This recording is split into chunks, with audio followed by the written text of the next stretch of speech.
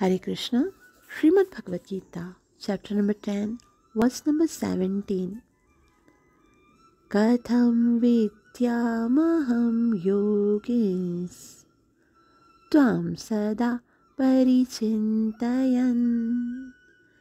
Cashew cashew च भावेशु चिंत्योसि भगवन्मया कथं विद्यामहं योगिन्स् त्वां सदा परिचिन्तयन्। केषु केषु च भावेषु चिन्त्योऽसि भगवन्मया।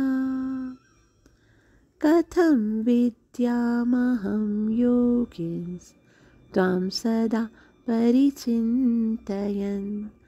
केषु केषु च भावेषु चिन्त्योऽसि भगवन्मया अर्थात, हे कृष्ण, हे परम योगी मैं किस तरह आपका निरंतर चिंतन करूँ और आपको कैसे जानूं?